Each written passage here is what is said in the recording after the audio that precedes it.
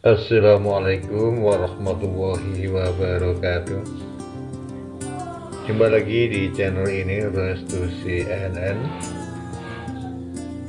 Kami doakan buat kalian semua Semoga diberikan dalam keadaan sehat walafiat Tanpa ada halangan suatu apa pun. Dan bagi yang belum subscribe di channel ini. Alangkah mulianya alangkah baiknya. Jika anda semua untuk berkenan subscribe di video ini. Dan terima kasih atas subscribe-nya.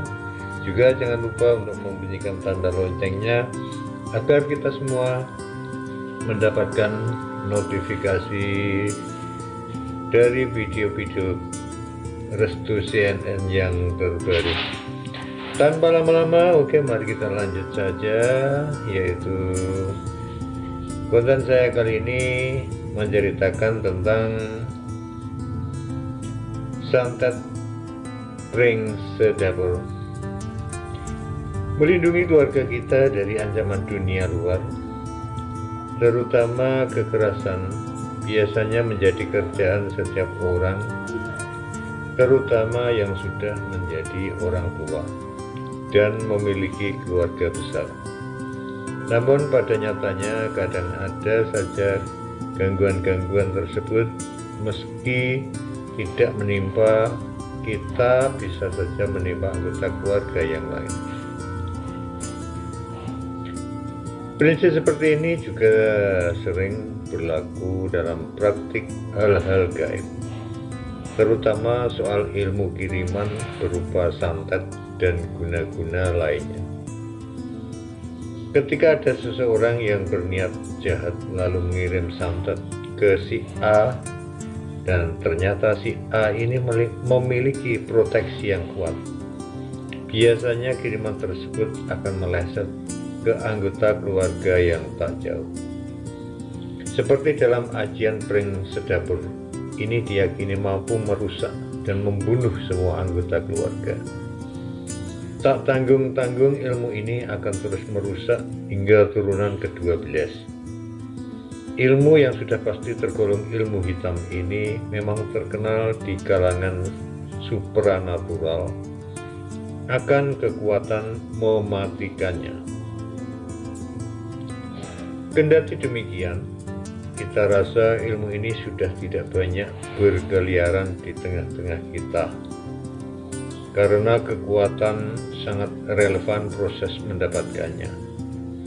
Jika seseorang ingin memiliki kekuatan ini, konon katanya harus mengorbankan anggota keluarga yang paling dekat dengan kita, mirip seperti pesugihan. Oleh sebab itu sulit mencapai tingkatan lanjut dari ilmu ini. Banyak orang yang enggan dan tidak kuat menghadapi setiap ujian yang diembannya. Ketika seseorang sudah terkena santet, ini akan sangat sulit keluar dari perangkap setan ini.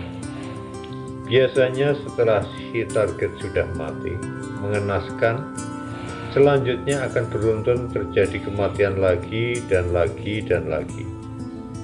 Semuanya tidak masuk akal seperti terkena penyakit apa pun ataupun kecelakaan.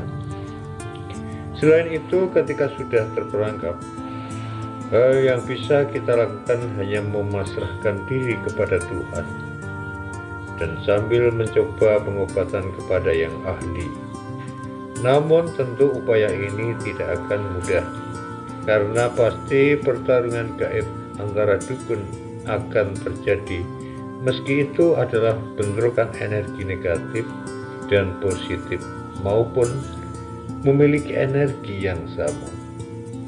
Ilmu ini akan menelan semua orang yang menentangnya. Akan tetapi, kita selalu tidak boleh putus asa dalam menghadapi semua masalah. Kita harus yakin semua penyakit ada obatnya. Dan semua masalah ada solusinya. Hal yang paling sederhana yang bisa kita lakukan adalah senantiasa berbuat baik dan senantiasa meminta maaf kepada orang-orang yang pernah kita sakiti. Jalan akhir dari pengobatan korban santet pring sedapur atau sering disebut juga bambu serumpun adalah dengan bekerja sama alias mengeroyok si pengirim dengan banyak kekuatan. Hal inilah yang dianggap mampu menandingi dan menghancurkan santet ini. Demikian dari kami sekilas tentang wawasan tentang ilmu santet ring sedapur. Santet ini memang sangat berbahaya karena bisa merusak satu keluarga apalagi sampai 12 keturunan. Mengerikan bukan? Karena itu kita selalulah berdoa, selalulah waspada pada Tuhan yang Maha Kuasa sesuai dengan keyakinan masing-masing dan semoga Tuhan Allah Subhanahu wa taala juga melindungi kita semua dari gangguan-gangguan jin dan setan serta keluarga kita dijauhkan dari segala mara bahaya terutama sihir, santet, tenung dan lain sebagainya.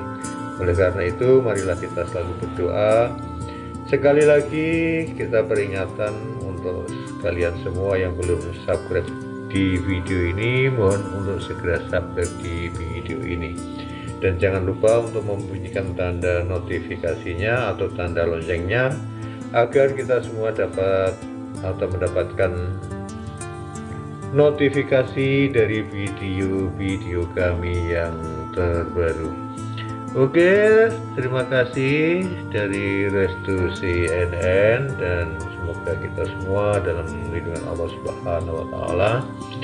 Selamat bergabung pada channel kami bagi Anda yang ingin dibuatkan video atau punya cerita-cerita horor yang bisa dikirim ke lewat email ataupun nomor WA yang ada di deskripsi deskripsi video kami. Kami sediakan untuk Anda dan berterima kasih sekali kepada Anda atau kalian semua telah bergabung di channel ini. Demikian dari kami, Restu CNN, wabillahi taufiq walhidayah. Wassalamualaikum warahmatullahi wabarakatuh.